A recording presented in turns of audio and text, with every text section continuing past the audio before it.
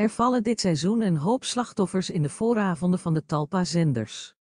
Jan Versteeg en Winston Gerstanowitz zijn met hun Quizzelingo en 50-50ste verhuisd van SBS 6 naar Net 5 om plaats te maken voor het nieuwe realityprogramma Een jaar van je leven.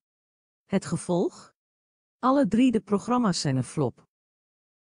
Waar de SBS6-titel De Reis van je leven gisterenavond rond half zeven uitkwam op 178.000 kijkers, 5,9% marktaandeel, scoorde 50-50ste, 19 uur 30, en Lingo, 20 uur, respectievelijk 171.000 en 194.000 kijkers, allebei 4%, op net 5.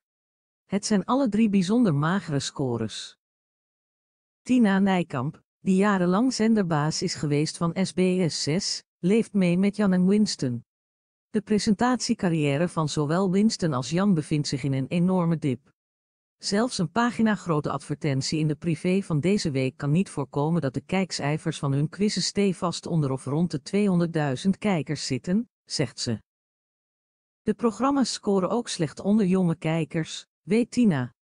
Het blijft een raadsel waarom de jonge hippe vrouwenzender Net5 dit is gaan uitzenden en of ze echt werkelijk dachten dat dit ging scoren.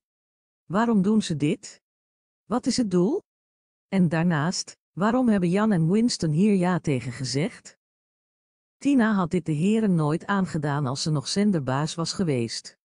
Qua imago, merk en marktaandeel lijkt me dit voor zowel zender als presentatoren allemaal vrij nadelig. De meeste ogen zijn gericht op vlaggenschip SBS 6.